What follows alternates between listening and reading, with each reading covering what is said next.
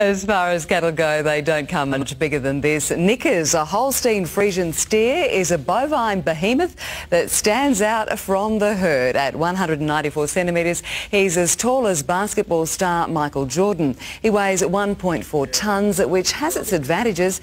He's too heavy for the abattoir, so he'll live out his days in the paddock.